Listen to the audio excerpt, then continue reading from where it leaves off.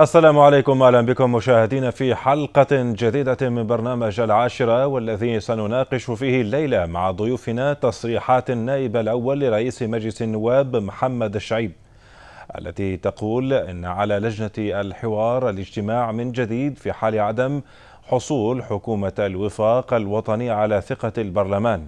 ووصفه لاجتماع المجلس الأعلى للدولة في طرابلس بأنه خرق للاتفاق السياسي وأنه مؤشر على غياب الحكمة السياسية وفق تعبيره. ونتساءل في عاشرة الليلة عن ماذا تعني تصريحات شعيب بخصوص منح الثقة لحكومة الوفاق وتعديل الإعلان الدستوري وتشكيل المجلس الأعلى للدولة. وكيف يمكن فهم رد فعل كوبلر إزاء تصريحات شعيب والتي دعت إلى تجاوز الخلافات وتعجيل تنفيذ الاتفاق السياسي. ما مدى قدرة مجلس النواب على الاستجابة لهذه الدعوات بعقد جلسة يوم الخميس القادم وإصدار قرار بشأن منح الثقة وتعديل الإعلان الدستوري؟ نطرح هذه الأسئلة وغيرها على ضيوفنا في عشرة الليلة عبر الأقمار الاصطناعية من طرابلس عضو مجلس النواب علي التكالي. وعبر الأقمار الاصطناعية من طرابلس أحد الموقعين على الاتفاق السياسي بسقراط أشرف الشح. وينضم معنا عبر الهاتف من طرابلس المحامي صلاح الدين طباق. نرحب بكم جميعا وقبل أن نبدأ النقاش أدعوكم والسادة المشاهدين لمتابعة هذا التقرير. مجلس النواب هو صاحب الحق في منح الثقة لحكومة الوفاق الوطني والوحيد المخول بإقرار السياسات العامة للدولة. كانت هذه إحدى العبارات التي أدلى بها النائب الأول لرئيس مجلس النواب محمد شعيب في مؤتمر صحفي عقد بمقر السفارة الليبية في العاصمة المصرية القاهرة. شعيب دعا المبعوث الأممي مارتن كوبلر لعقد جلسة حوار جديدة لحل المشكلة بين المجلس الرئاسي والبرلمان يوم الخميس القادم وتعديل الإعلان الدستوري بما يوفر تضمين وثيقة الاتفاق السياسي فيه معربا عن أمله في حل الأمور بالتعقل وبعيدا عن الانقسام وذلك في جلسة لا يتجاوز تاريخها الثامن عشر من أبريل الجاري. وفيما يخص المجلس الأعلى للدولة اعتبر شعيب أن اجتماع هذا الجسم في الوقت الراهن يعد خرقا للاتفاق السياسي وفعلا يفتقد للحكمة السياسية بحسب تعبيره مشيرا إلى أن المادة السادسة عشرة من الاتفاق تنص على حضور 135 عضوا في حين أن عدد الحاضرين لم يتجاوز 80 عضوا وفق قوله. وردا على الأنباء المتداولة بشأن عقد كتلة الأربعة والتسعين بالمؤتمر اجتماعا في بني غازي سيعلن من خلاله عن تشكيل مجلس موازن للمجلس الأعلى للدولة. دعا شعيب الجميع إلى التعقل وعدم جر الشعب الليبي إلى مزيد من الانقسامات. من جانبه رحب المبعوث الأممي إلى ليبيا مارتن كوبلر باللقاء الذي جمع رئيس مجلس النواب عقيل صالح بالنائبين الأول والثاني للبرلمان في القاهرة معتبرا أن هذا اللقاء من شأنه أن يساعد الأطراف على تجاوز خلافاتهم والدفع إلى الأمام بالعملية السياسية وتنفيذ الاتفاق السياسي.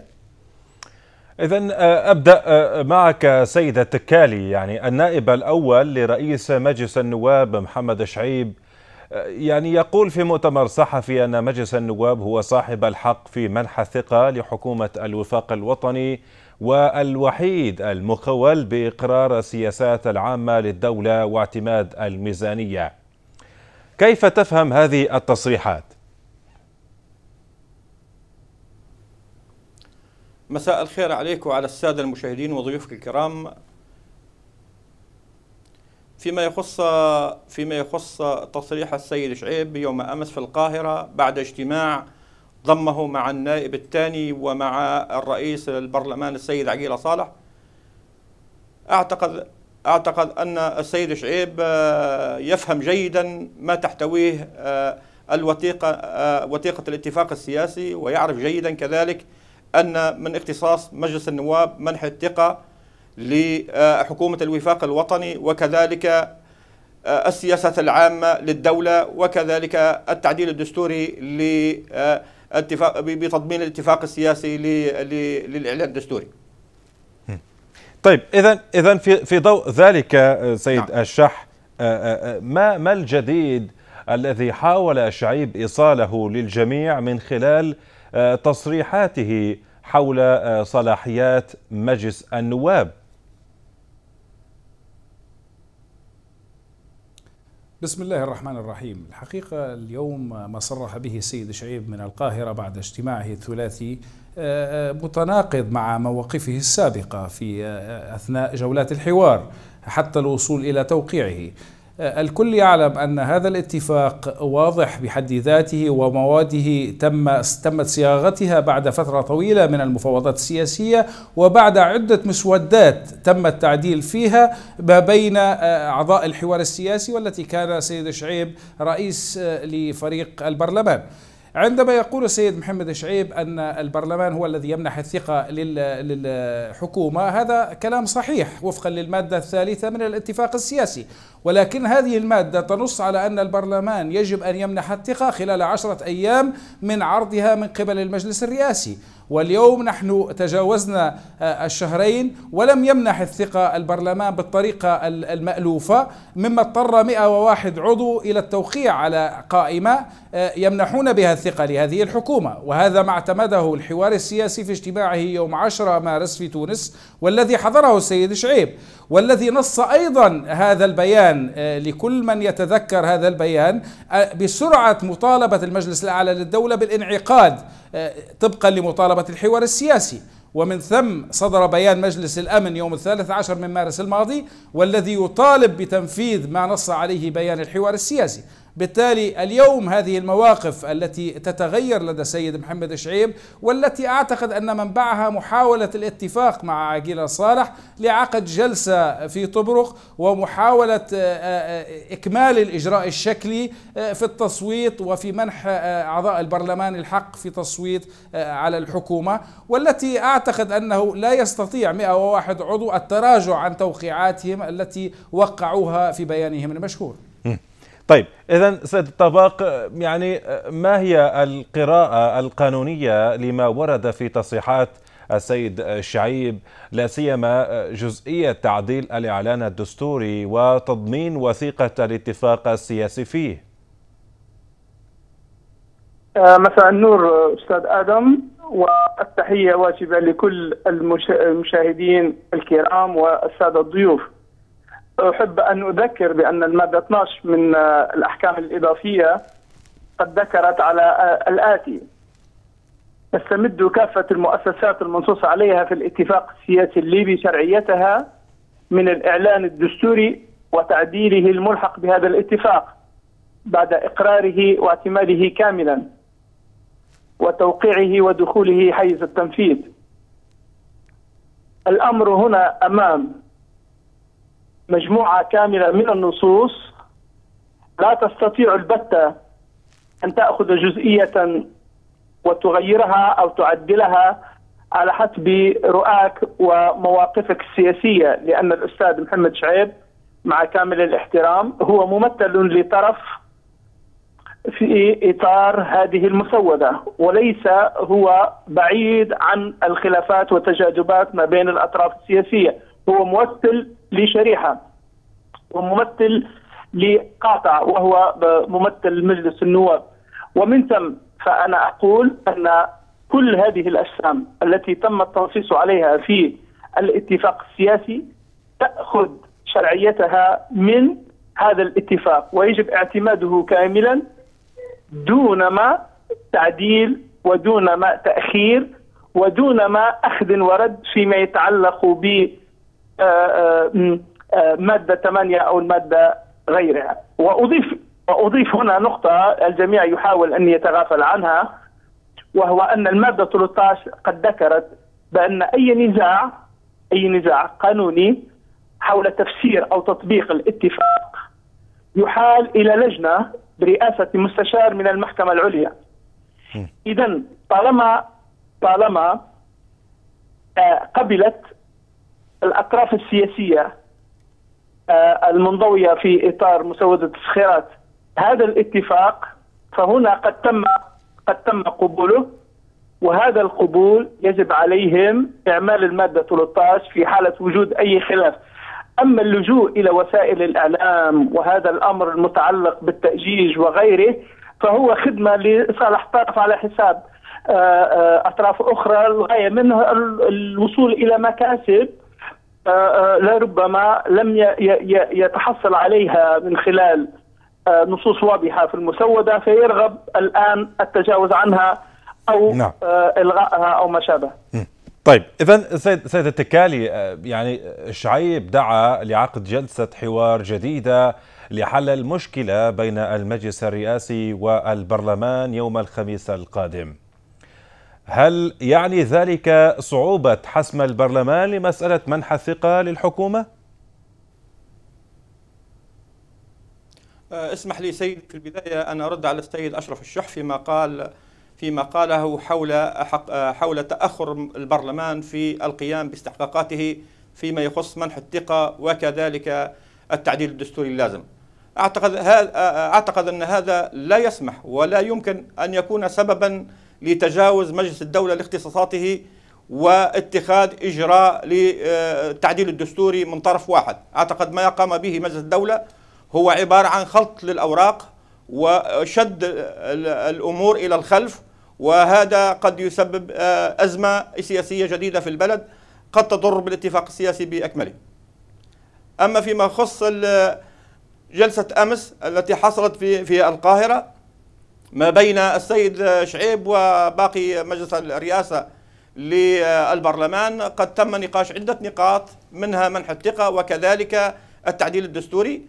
أعتقد أن السادة مجلس الرئاسة للبرلمان قد منحوا عدة أيام لأعضاء مجلس النواب بالتوجه إلى طبرق من جميع الأطراف لزيادة مناقشة هذين البندين للوصول إلى أقرب نقطة للتوافق ما بين الأطراف المختلفة داخل البرلمان. وبإذن الله خلال أيام سنصل إلى قاعدة مشتركة ما بين كل النواب للبت في هذين الاستحقاقين التي يجب أن يتم الحسمهما خلال الفترة القريبة القادمة بإذن الله.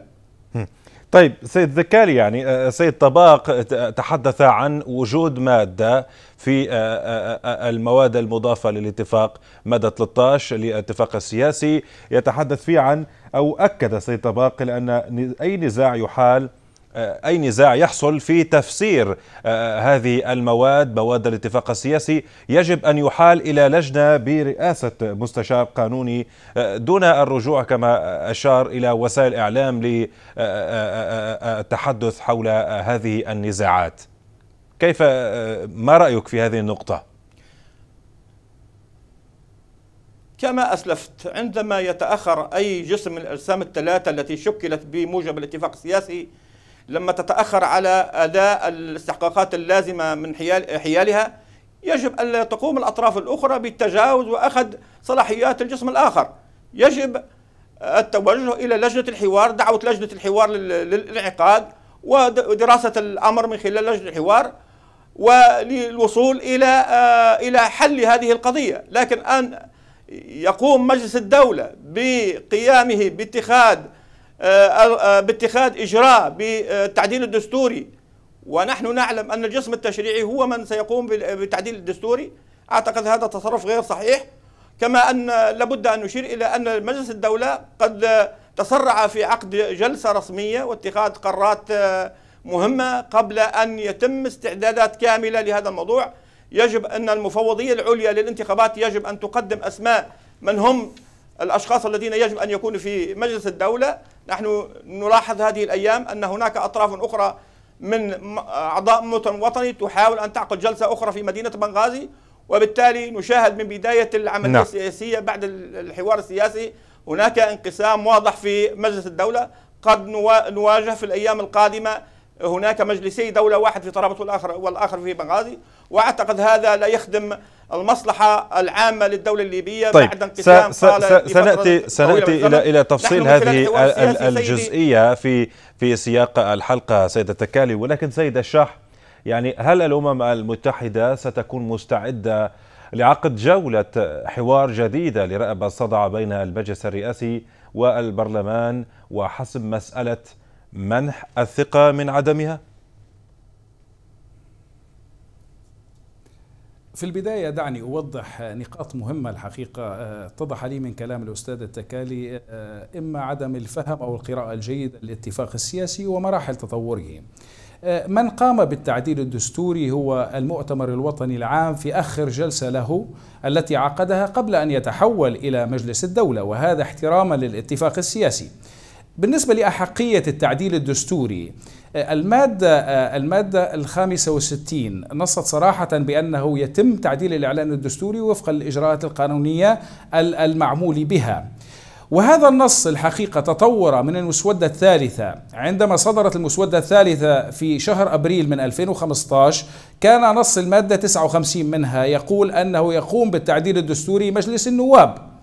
ولكن تم التفاوض في هذه النقطة لعدة معطيات قانونية حيث أن التعديل الدستوري المطلوب بين الجسمين اللذين كان يتنازعا شرعية آه، أنهما جسمين تشريعيين أحدهما بناء على الاعتراف الدولي به والثاني بناء على حكم المحكمة أو الدائرة الدستورية بالمحكمة العليا.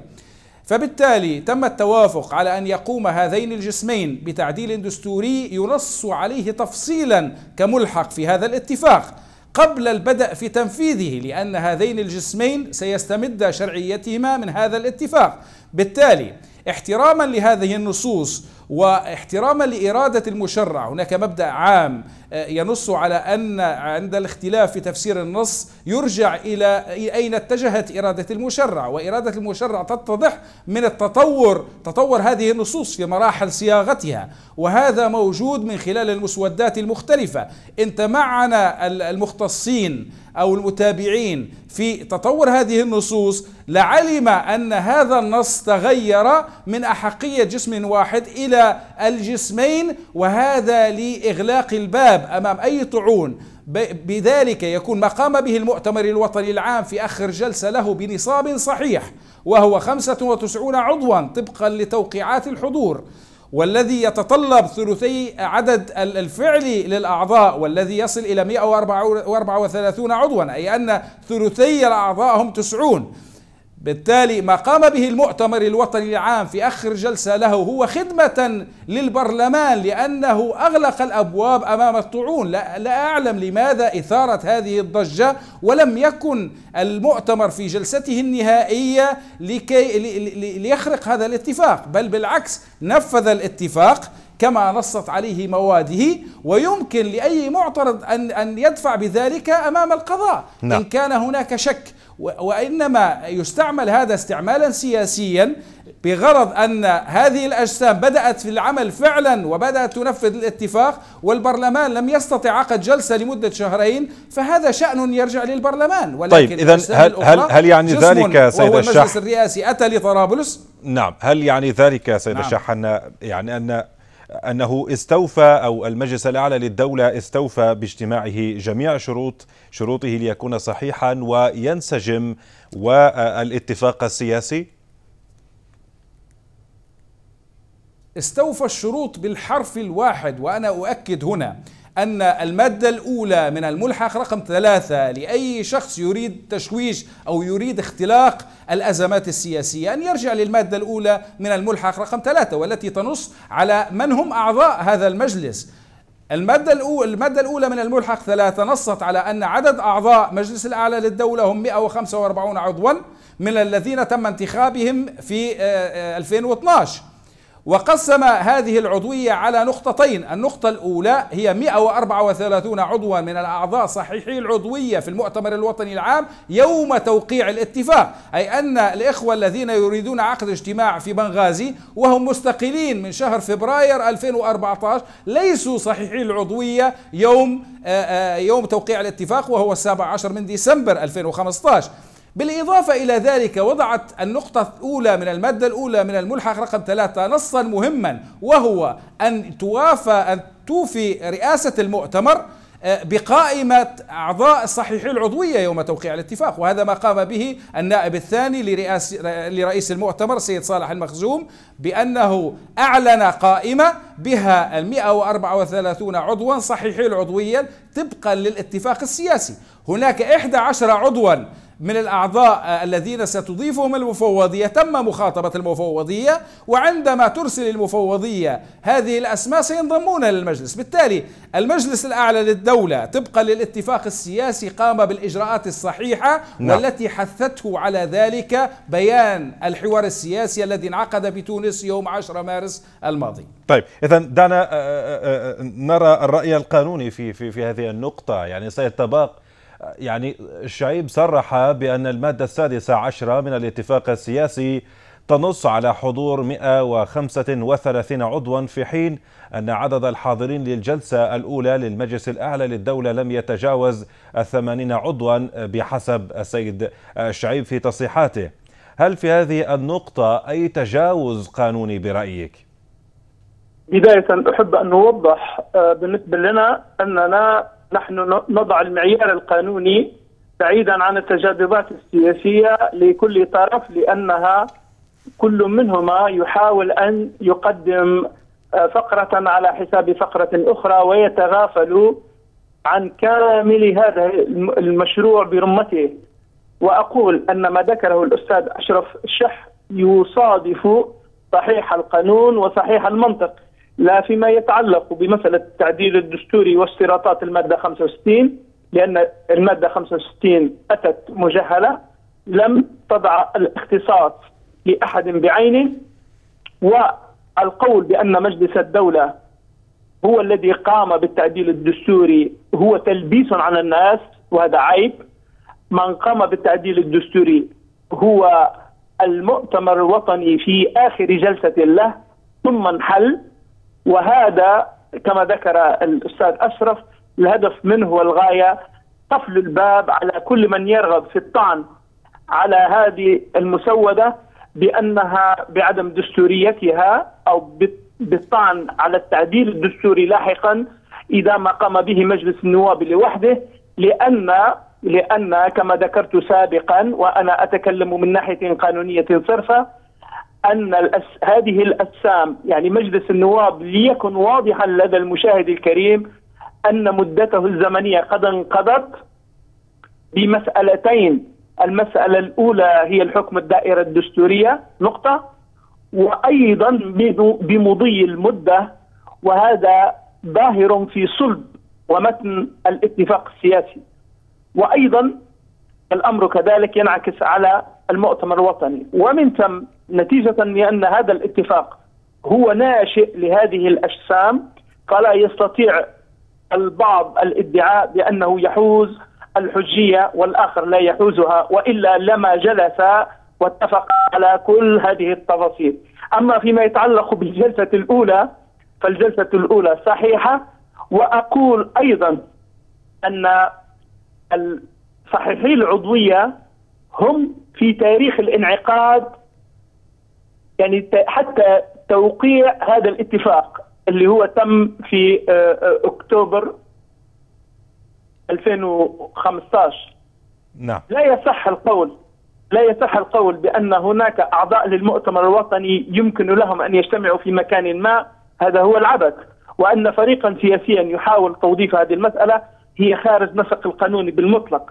أيضا مسألة أخرى لها علاقة بأن هناك مسألة قانونية يرددها آه، مختصي القانون بأن من له مصلحة في الدفع بعدم صحة الجلسة الأولى ليس أحد أطراف النزاع السياسي وإنما أعضاء مجلس الدولة ممن يعتقد ويرى بأنه كان في مقدوره إذا ما حضر هذا الاجتماع أن يحوز على سدة الرئاسة أو عضوية الرئاسة أو أن يكون مقررا. ومن ثم لا يصح لا يصح التحجج بهذه النقاط التفصيلية التي لم تمنح لطرف سياسي أو لغير أعضاء المجلس الدولة بأن يطالب بها غيرهم. ومن ثم نقطة من أول السطر هذا الضجيج كله الهدف منه غاية واحدة أن مجلس نعم. الدولة قد أن المؤتمر الوطني قد قبل التعديل الدستوري كاملا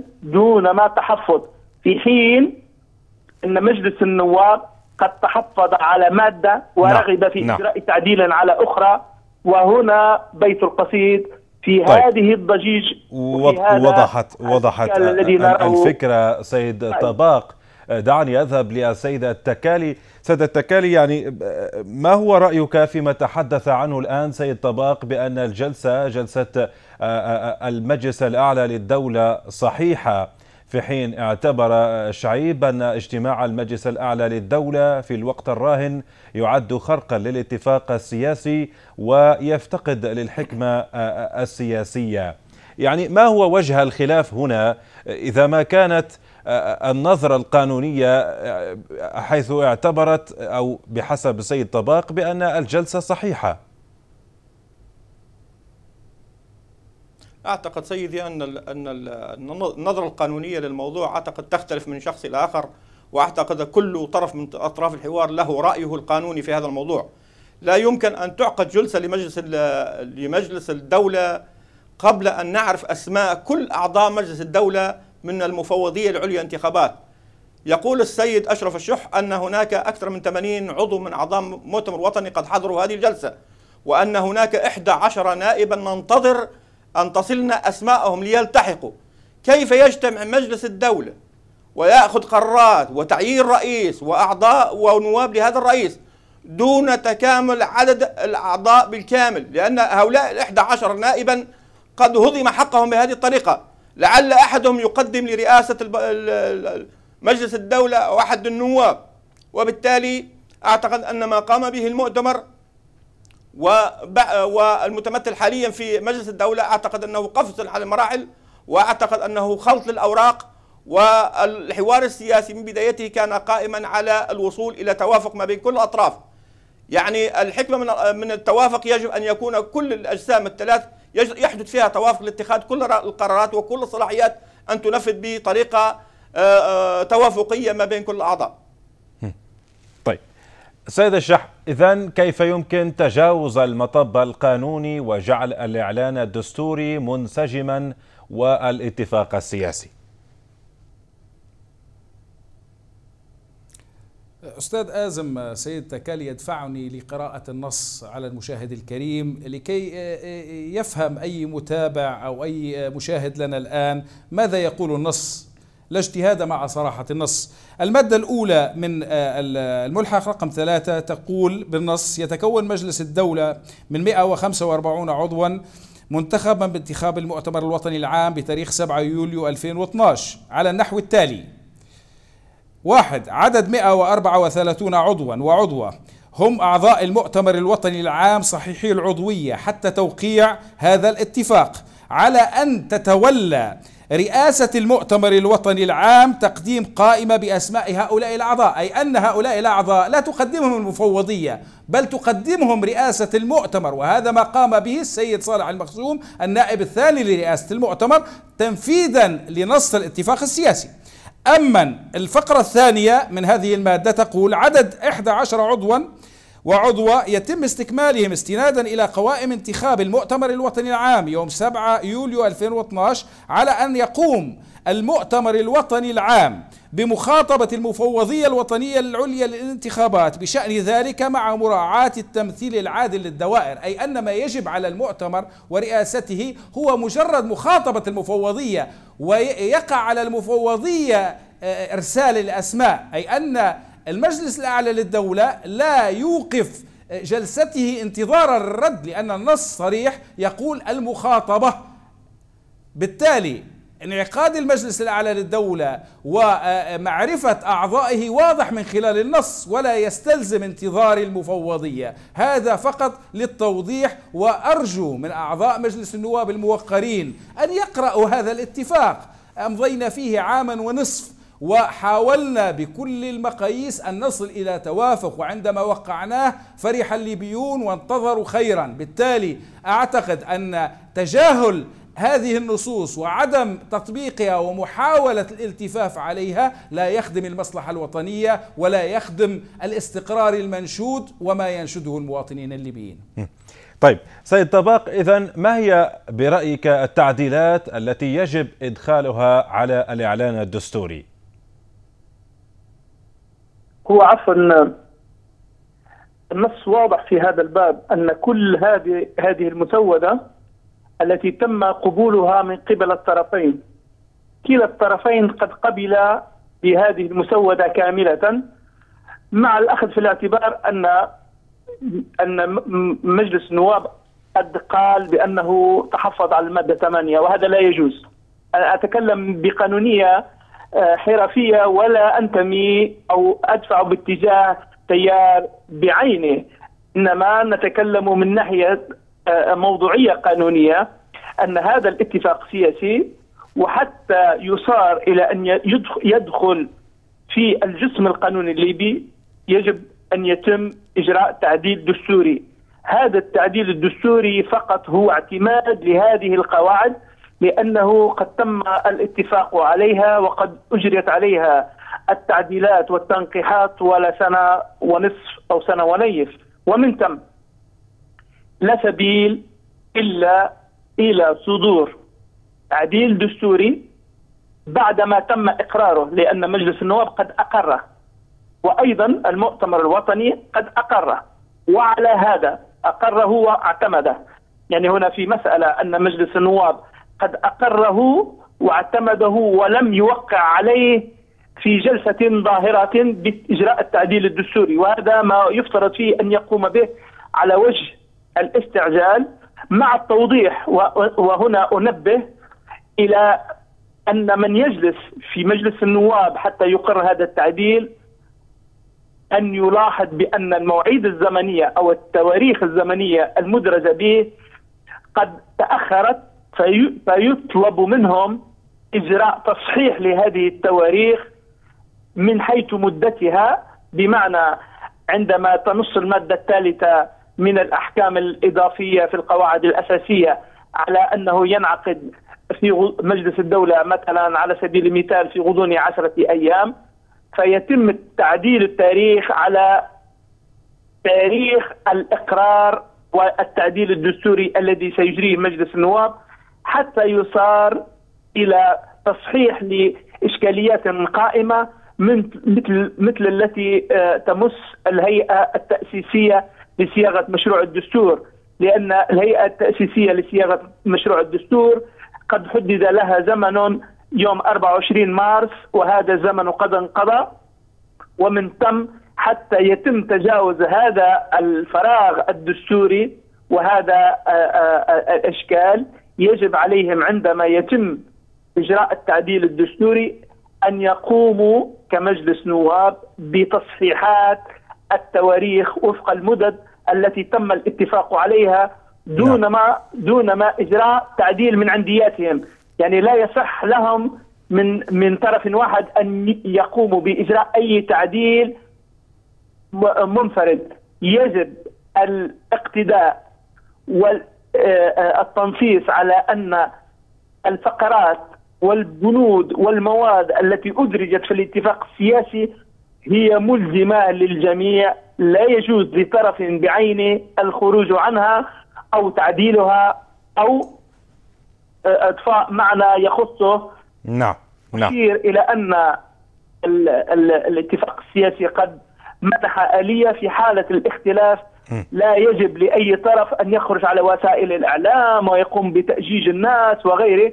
يجب عليه أن يحترم الآلية المنصوص عليها. وهو دعوه دعوة آه، لجنة آه، آه، التفسير المنصوص عليها في الاتفاق برئاسة مستشار من المحكمة العليا وعضوية نعم. عضوين من كل طيب. فريق أن يجتمعوا وضحت, وضحت هذه الفكرة سيد طباق سيد التكالي أكد كوبلر في بيان للبعثة الأممية في ليبيا أن اللقاء في القاهرة بين عقيلة ونائبيه من شأنه أن يساعد الأطراف على تجاوز خلافاتهم والدفع إلى الأمام بالعملية السياسية. إلى أي مدى آه، يعني ترى سيدة تكالي أن هذا يعتبر أو يعتبر هذا اللقاء ترجمة لذلك؟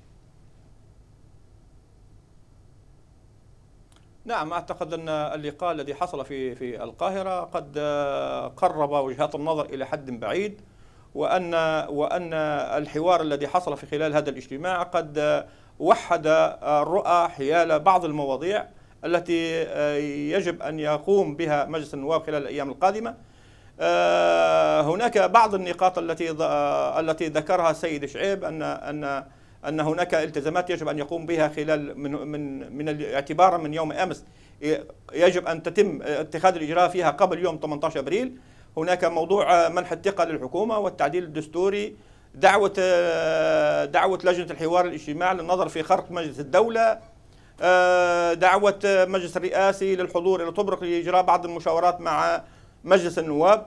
اذا نحن أمام تقارب في وجهة النظر. هناك جلسات تشاورية ستبدأ من يوم غد إلى إلى إلى يوم 18 إبريل حيث متوقع أن تكون هناك جلسة لقيام مجلس النواب بكامل استحقاقاته بعد استكمال كل المشاورات ما بين أعضاء مجلس النواب في آه، في الطرفين. طيب اذا سيد الشح آه، هذا ترحيب من قبل المبعوث الأممي حول مسألة اللقاء بين نائبي مجلس النواب ورئيسه دون التطرق لمسألة التحفظات على من جانب مجلس النواب على اجتماع المجلس الأعلى للدولة إلى ماذا تشير برأيك؟ تشير إلى أن آه، التحفظات التي أبداها السيد شعيب هي جزء من تقريب وجهات النظر بينه وبين السيد عقيلة أي أنهم يحاولون تحميل مسؤولية آه، عدم تمكنهم من الإجراء الاستحقاقات اللازمة على الأطراف الأخرى مع أنه واضح لدى كل المراقبين الدوليين الحقيقة بأنه لا يوجد أي خرق وما تم خلال اليومين الماضيين هو من صحيح الاتفاق السياسي. وأيضا الدعوة لانعقاد الحوار السياسي بناء على خرق ليس له تبرير وهذا ما تشاور عليه أغلب أعضاء الحوار السياسي خلال هذين اليومين. اليوم المطلوب الحقيقة من مجلس النواب دون تحميل أي طرف مسؤولية أن يلتزم بمسؤولياته وتنفيذ الاتفاق السياسي كما نص عليه، لأن محاولة تحميل المسؤولية للأطراف الأخرى دون القيام بما نص عليه الاتفاق السياسي يضعنا أمام منزلق خطير.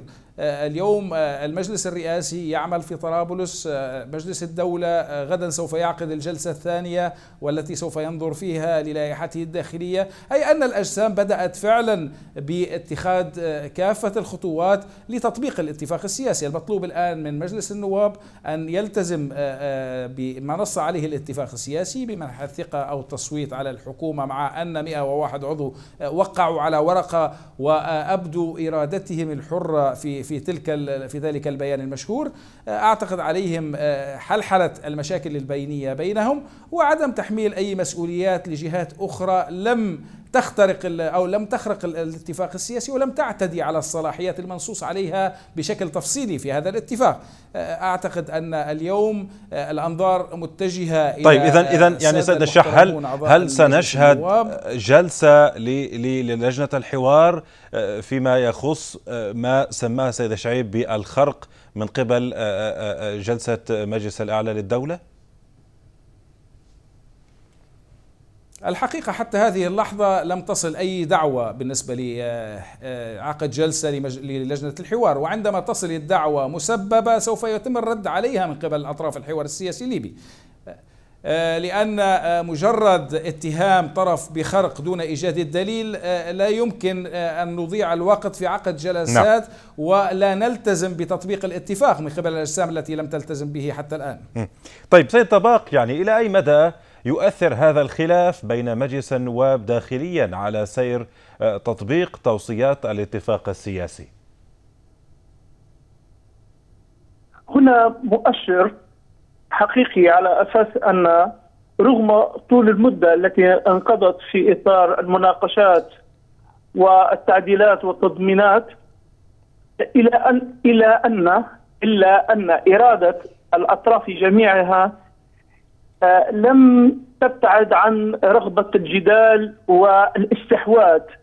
يعني العنوان الرئيسي الذي أراه في ليبيا هو الإقصاء والرغبة في الاستحواذ على السلطة من طرف واحد دون محاولة لإشراك الآخرين. وهنا أعيد إلى أن تجربة وهذا الكلام قد ذكره ممثل الأمين العام للأمم المتحدة السيد طارق متري بأن في شهر 6 2014 كان يمكن تجنيب البلاد كل الويلات والمآسي التي لحقتها جراء عن الطرف السياسي وقد سمى هذا الطرف السياسي. إذا ونحن الآن بعد هذا الجدال وهذا النقاش والتفاصيل الطويلة العريضة فيما يتعلق بالاتفاق السياسي يجب الابت... يجب التفكير من منطلق أن هذا الوطن الكل فيه شركاء ومن حق الجميع ومن حق الجميع كيفما كان لونهم وتفكيرهم ورؤاهم أن يكونوا شركاء في مسار العمل السياسي دون ما إقصاء.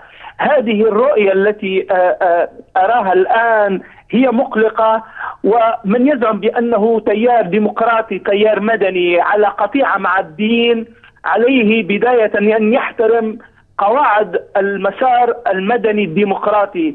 ليس فقط أن تكره الدين فيعني ذلك آه، أن تكون ديمقراطيا. أن تكون ديمقراطيا أن تكون تشاركيا أن تكون مدنيا أن تسمح للطرف الآخر نعم. أن تمكنه من حقوقه كاملة دون استقواء دون استقواء بالسلاح ولا بالترهيب ولا بالإقصاء الفكري والإرهابي وغيره ومن ثم فهي دعوة صادقة للجميع أن الأمور لا تحتمل في ليبيا والكل قد ظهر وهنا هذه منصة لأطلق هذا الكل قد ظهر بأن لديه مريدين من جهة ولديه حلفاء إقليميين من جهة واللاعب الدولي قد ظهر لنا جميعا بأن كل ومن يشايعه ومن يدافع عنه ومن ثم التحجج بأنه له الشرعية لوحده هو مسألة فيها نظر علي على نعم. الجميع نعم. أن يحترم بدقة المسار السياسي الذي تم التنصيص عليه في مسودة السخيرات وإلا لما التحق به مبتدأ إذا ما كان هناك نقاش على أساس أن فلان أو علان هم من بقايا المؤتمر الوطني نعم. وأنا نعم. أكره هذا الجسم وما كان يجب عليهم أن يتصدر طيب. أو غيره وصلت وصلت وصلت الفكرة سيد سيد طباق حتى حتى نشرك الجميع أكثر في في في هذا النقاش أذهب الآن للسيد التكالي يعني سيد التكالي هل وضعتم خارطة طريق داخلية وسقفا آه، زمنيا لإعلان قراركم النهائي بشأن منح الثقة من عدمها وتعديلكم للإعلان الدستوري؟ أعتقد أن هذا الأسبوع خلال هذا الأسبوع سيتم النقاش داخل مجلس النواب في جلسات تشاورية للوصول إلى أكبر قدر من التوافق حيال المواضيع المطروحة. ومن ثم ستحدد جلسة رسمية مكتملة النصاب لاتخاذ القرارات اللازمة واستكمال الاستحقاقات اللازمة على مجلس النواب. أنا صراحة أود أن أشير إلى موضوع أشاروا عليه السادة وهو أن آه، أن مجلس النواب يتمنى الحقيقة أن يفتح صفحة جديدة مع كل الأطراف و نصل بليبيا إلى بر الأمان وعدم الرجوع إلى الخلف وعدم الشد إلى الوراء. أعتقد أعتقد آه، أن مجلس النواب كان يتمنى أن يرى أعضاء مجلس أعضاء المجلس الوطني آه، يراهم في آه، بعقلية جديدة برؤية جديدة للدولة الليبية دون محاولة خلط الأوراق ومحاولة شد الاتفاق السياسي إلى الوراء. نأمل أن نشتغل في اتجاه واحد لأن جميعا صراحة نتمنى أن نرى ليبيا بشكل جديد من جميع الأطراف. الوثيقة السياسية أو الاتفاق السياسي حدد مهام كل طرف من أطراف التي نتجت سواء كان الحكومة أو البرلمان أو المجلس الدولة لكل اختصاصاته. ليس هناك أي لبس في هذا الموضوع. ونتمنى أن كل جسم من هذه الأسام يلتزم بحدوده ويعرف اختصاصاته ويقوم بها طيب على سيد سيد سيد التكالي واقعيا الآن مصلحة ليبيا ورفع المعاناة نعم نعم. سيد التكالي واقعيا الآن ما الذي يمنع مجلس النواب من عقد جلسة لمنح الثقة لحكومة التوافق وتعديل الإعلان الدستوري إذا ما كان الجميع رهانه الوطن؟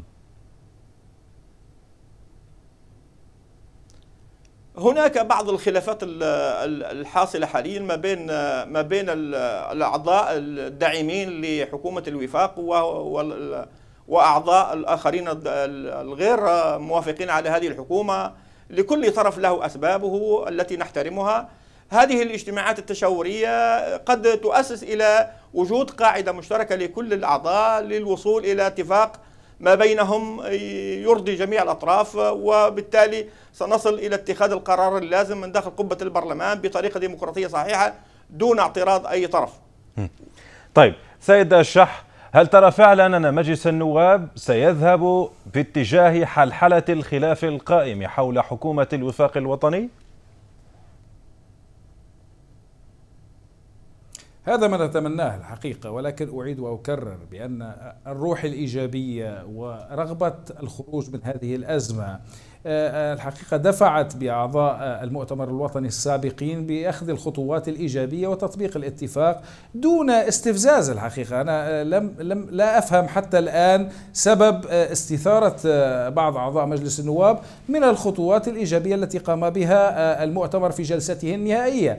هناك جسم قد عقد جلسة وأنهى حياته السياسية وطبق الاتفاق بتحوله إلى جسم آخر بأقل صلاحيات فهذا خدمة للأطراف الأخرى في هذا الاتفاق. بالتالي لم أفهم حتى الآن سبب آه، استثارة آه، السادة المحترمون من مجلس النواب من هذه الإجراءات الطبيعية جدا والتي آه، تلتزم بنصوص الاتفاق كما قرأناه. اليوم الحقيقة المطلوب من السادة المحترمون في مجلس النواب أن أن يلتزموا بنصوص الاتفاق وأن يقوموا تنفيذ الاستحقاقات المطلوبة منهم آه، طبقا لما نص عليه بيان الحوار السياسي الذي صدر في 10 مارس الماضي. آه، هذا ما نتمناه وأعتقد أن الخطوات القادمة خلال الأيام القادمة حتى من مجلس الدولة في جلساته القادمة سوف يعبر عن رغبته في التعاون آه، كما نص على ذلك الاتفاق ولا يرغب في تجاوز الصلاحيات المنصوص عليها صراحة وتفصيلا. بالتالي آه، الالتزام بكافة الصلاحيات المنصوص عليها دون تجاوز أو اعتداء على صلاحيات الأجسام الأخرى.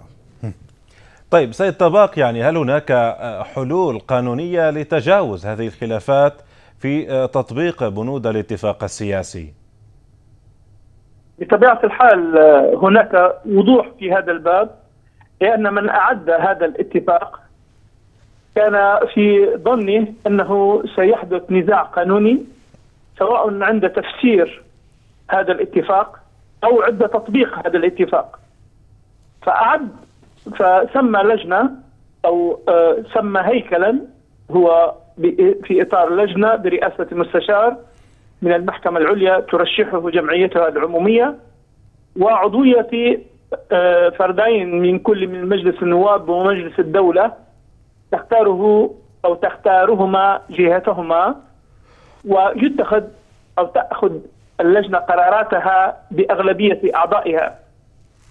إذا هذه الآلية أنا أنا أستغرب من كل من يرى بأن هناك إشكال ما سواء تعلق بالتفسير أو التطبيق أن لا يلجأ إلى هذه المادة وقد تم إقرار الاتفاق السياسي من قبل كلا الجسمين بل أن المؤتمر الوطني قد اعتمده وقعه وأجرى التعديل الدستوري.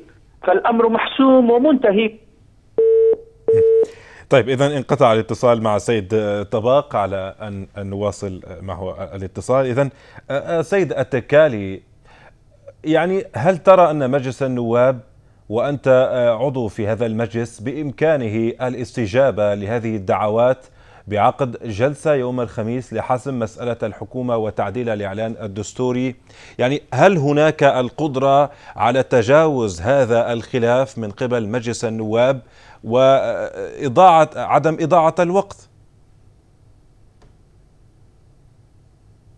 نعم أعتقد ذلك. من خلال التشاور من خلال البحث عن آه، البحث عن إيجاد قاعدة مشتركة ما بين كل النواب البحث عن توافق حيال كل المواضيع. أعتقد بالإمكان الوصول إلى اتفاق ما بين النواب واتخاذ القرارات اللازمة حيال كل الاستحقاقات التي يتوجب على مجلس النواب القيام بها. نحن حقيقة لا نريد أن نتسرع ونريد أن نخرج بتوافق ما بين أعضاء مجلس النواب. لا نريد أن يتعرض مجلس النواب إلى الانقسام. نريد أن هذا الجسم أن يستمر خلال الفترة القادمة ليقوم بكل المهام التي وكل بها من خلال الاتفاق السياسي. وأعتقد أن الوصول إلى إلى اتفاق أعتقد ليس ببعيد. طيب سيد الشح بعثة الأمم المتحدة التي رحبت اليوم بلقاء عقيل صالح ونيبي في القاهرة وكانت البعثة قد لوحت قبل ثلاثة أيام بتهميش البرلمان إذا ما تأخر في منح ثقة للحكومة. كيف تقرأ هذا المعطى؟ هو الحقيقة كلنا نرحب بتقريب وجهات النظر بين السادة في مجلس النواب لكي ينفذوا الاتفاق ولكي يلتزموا بما تم الاتفاق عليه. لا لا لا نرغب في أن يكون هناك خلاف بينهم ولكن كل ذلك في إطار ما نص عليه الاتفاق السياسي. لا, لا نتمنى أن نرى توافقا بين أعضاء مجلس النواب فيه تعدي على الاتفاق السياسي كما رأيناه في مسألة اعتماد الاتفاق وحذف المادة الثامنة على سبيل المثال أي أن هذا الاتفاق يجب أن يؤخذ أو يجب أن يتم الموافقة عليه برمته ولا يمكن التعامل معه بانتقائية. المادة 66 من الاتفاق السياسي تلزم كل الأطراف بأن هذا الاتفاق وملاحقه وأحكامه الإضافية له نفس الحجية والقيمة القانونية. بالتالي نتمنى على السادة أعضاء مجلس النواب لأنه جسم مهم في تنفيذ هذا الاتفاق وقيادة المرحلة في المرحلة الانتقالية الثالثة. نتمنى منهم أن يتوافقوا بشكل لا, يتع... لا يتم التعدي فيه على نصوص هذا الاتفاق. طيب إذن سيد طباق يعني في حال عدم وصول مجلس النواب لعقد جلسة يوم الخميس القادم وإصدار قرار بشأن منح الثقة وتعديل الإعلان الدستورية ما الإجراءات القانونية التي يجب أن تتبع هنا؟ هنا أعود إلى بيان المئة وواحد عضوا والذي أوضح فيه رغبة واتجاه الأغلبية من أعضاء مجلس النواب بعيدا عن رئاسته إلى قبول هذا الاتفاق السياسي. فيمكن لهذه الأغلبية أن تنعقد في أي مكان. أنا أنا هنا أقول من منبركم بأن التحجج باللائحة الداخلية لمجلس النواب هو تحجز معدوم. لماذا؟ لأن مخرجات فبراير ومن كان في متابعا لمخرجات فبراير يعي بدقة ما أقول. قد تم التنصيص في مخرجات فبراير على أن ينشر المجلس النواب لائحته الداخلية في الجريدة الرسمية وهذا لم يحدث. فإذا طالما النص الدستوري قد انتهك مسبقا بعدم النشر الذي تم إلزامه فلا تحجج للقول بأن النصاب يتطلب 130 أو 120 أو ما أو نحو ذلك. إذا للأغلبية التي عبرت صراحة عن إرادتها الحرة أن تنعقد كما انعقد المجلس في طبرق على خلاف النص الدستوري أن يكون في بنغازي. يعني انعقد المجلس في طبرق ولم يكن هناك نعم. نص دستوري يغطي هذه المسألة. نعم. فإذا ميل فريق سياسي على حساب القانون وعلى حساب المسار الديمقراطي والتحجج بأنه يناصر الرأي وغيره هو تحجج ضعيف آه، محكوم عليه بالسوابق التي نعم. قام بها وضحت الفكرة وشكرا جزيلا لك ونأسف على المقاطعة سيد طبق وبهذا مشاهدينا نصل إلى ختام العاشرة نشكر ضيوفنا كان معنا عبر الأقمار الاصطناعية كل من من طرابلس عضو مجلس النواب علي التكالي وأيضا أحد الموقعين على الاتفاق السياسي السيد أشرف الشح. وعبر الهاتف من طرابلس المحامي صلاح الدين طباق. شكرا جزيلا لكم وشكرا لكم مشاهدينا على حسن المتابعة في أمان الله.